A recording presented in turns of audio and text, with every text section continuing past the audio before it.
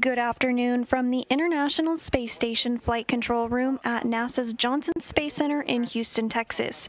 I'm Sandra Jones. At this hour, three Russian cosmonauts are on their way to the International Space Station in the Soyuz MS 21 spacecraft for an arrival to the orbital outpost just 50 minutes from now. And we are getting our first view of the Soyuz MS-21. It's that small black dot towards the middle of your screen, and we'll watch it grow larger as it closes in on the International Space Station at the tail end of its two-orbit journey. And this view from a camera on the Soyuz spacecraft, the engineering overlay data showing the information that is also being interpreted by flight controllers in Korolev.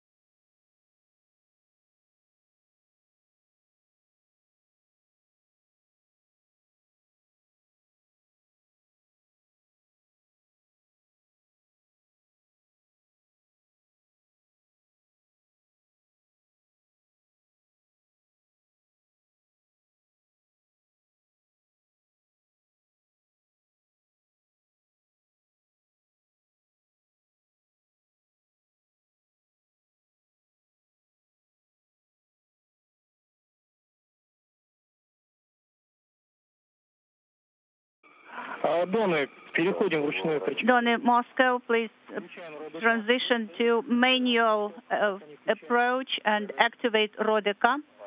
Oleg, Oleg, do you, can you hear me? Yes. So please go to manual mode. Yes, I can hear you, Vladimir Alexeyevich. Rodeka, digital loop. Yes, that's correct. Rodeka Rus copy in work.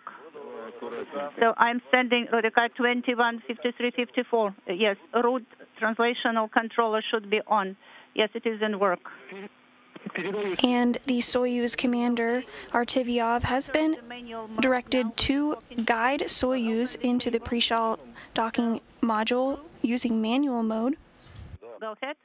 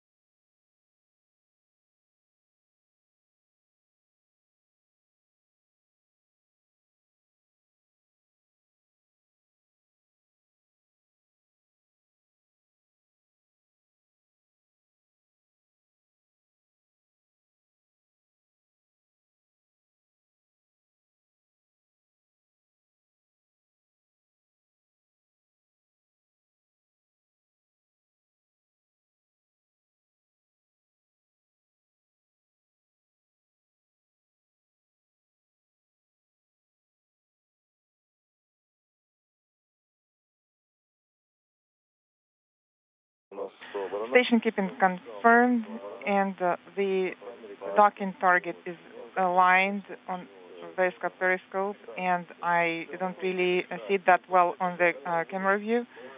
And uh, uh we are ready to send the uh, burn to, to contact 21, 22, 23. Uh, it is sent, standing by for contact. Everything looking good, standing by for contact and capture preliminary aligned. Uh, copy all, and we're standing by.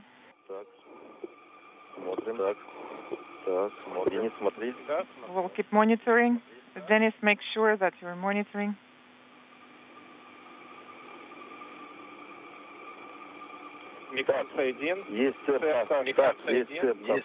Mechanical connection. Contact confirmed.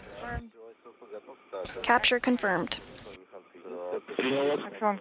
Copy all.